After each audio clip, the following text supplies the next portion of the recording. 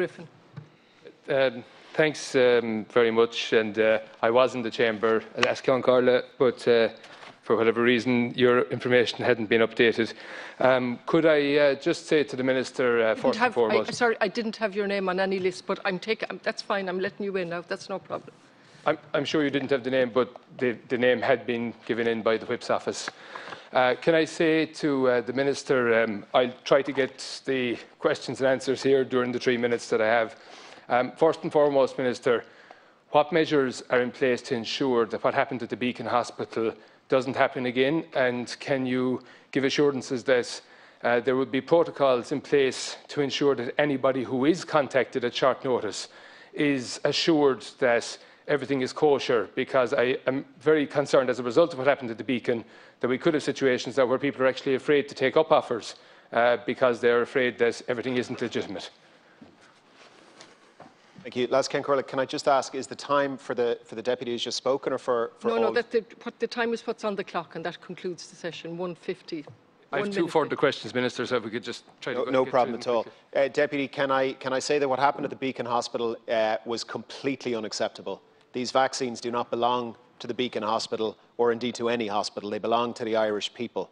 Very clear guidelines, very clear protocols were in place, are in place, had been communicated, and they were understood. I've written to the Beacon Hospital on the issue and, uh, and have asked for a full review, including any uh, responses from the board.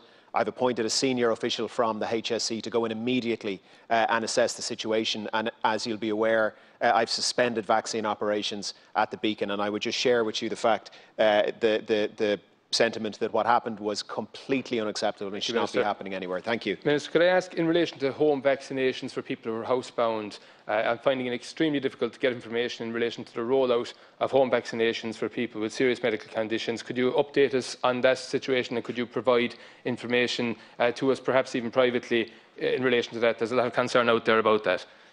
Uh, thank you, Deputy. I'm more than happy to talk to you privately about it as well. The National Ambulance Service has uh, started. They are moving uh, through regionally through the country. Uh, the GPs have identified it in many, in many cases. There are patients who can't make it into the GP clinics, uh, and the National Ambulance Service are moving uh, as quickly as is possible to get to the home, support the people, give them the vaccinations. And finally, just in relation to the uh, change that was announced this week in relation to the rollout, I also have been contacted uh, by huge numbers of people, particularly teachers and Gardaí, uh, with serious concerns about this. Rather than going the full hog and moving to the system that is now proposed, would it not be more advisable to look at those high-risk categories and to look at the older cohorts of individuals within those categories first? If you can't do all of them now, would you not look at the older and more vulnerable um, members of those of Thank Garda. Síochána, teachers, etc.? Unfortunately, we're going to have to move on. The time is up.